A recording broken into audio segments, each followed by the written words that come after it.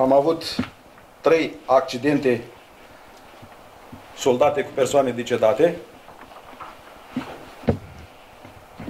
Le expun ulterior.